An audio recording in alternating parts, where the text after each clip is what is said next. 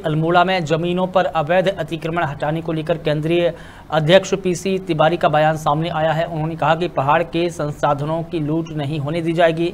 जल जंगल ज़मीन को बचाने के लिए संघर्ष करते रहेंगे और करते ही रहेंगे। उन्होंने कहा कि डांडा काटा स्थित पलीजेंट वैली में अवैध तरीके से बसी हुई है सरकार। अवैध तरीके से कब्जा की गई ज़मीनों पर अवैध अतिक्रमण को हटा रही है।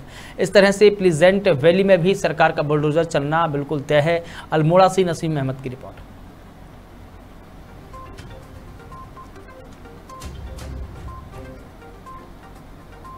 देखो, हमारी सबसे बड़ी मांग है कि उत्तराखंड के अंदर प्राकृतिक संसाधनों, जमीनों की जो निर्मम लूट हो रही है उसके खिलाफ आज सबसे पहले लड़ने की ज़रूरत है। और डांडा गांडा में जो प्रेमनाथ, ए बी प्रेमनाथ, जो दिल्ली सरकार में बड़ा अधिकारी तक गृह मंत्रालय, उसको बर्खास्त कर दिया है सरकार ने, केंद्र सरकार ने, और वो यहाँ अपराध, अराजकता और गुंडागर्दी का माध्यम था।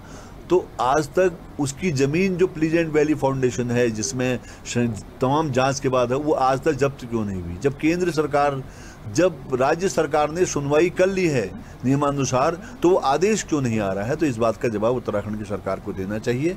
और अगर सरकार जवाब नहीं देती तो उत्तराखंड के नौजवानों को, उत्तराखंड के लोगों को इस सवाल पर लड़ना पड़ेगा। और हम जमीनों के सवाल को, प्राकृतिक संसाधनों के सवाल को प्रमुख सवाल मानते हुए हम संघर्ष करेंगे, हम अफसोस है कि कोई भी विपक्षी पार्टी, चाहे वो कांग्रेस हो, चाहे कोई और पार्टी हो, और भाजपा तो उसमें, अभी सरकारी में है तो उसमें से कोई भी इन सवालों को नहीं उठाता है, नहीं लड़ता है, और और वर्षों तक पंद्रह पंद्रह साल तक लोग लड़ रहे हैं, और उनको जुल्म